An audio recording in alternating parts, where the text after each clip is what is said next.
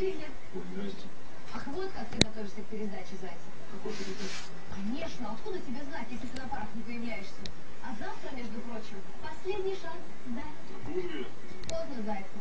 Приходи, не приходи, а больше двойки все равно не получишь. О, а ты, походу, Костян, тоже в армию засобирался. Капец, не достал. Я думал, денег, да, как обычно, и все. А вообще говорят ни в. Да, Танечка у нас такая честная и принципиальная. Как не подкатить? Слушай, знаешь, я, конечно, мог с Таней поговорить.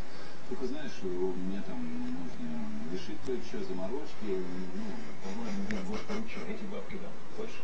Это надо. я готов бы деда Мазаева за пять тысяч. Легко.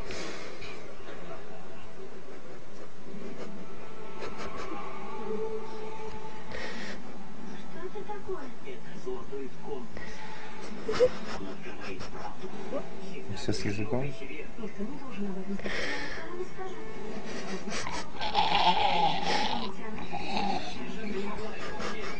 решит ход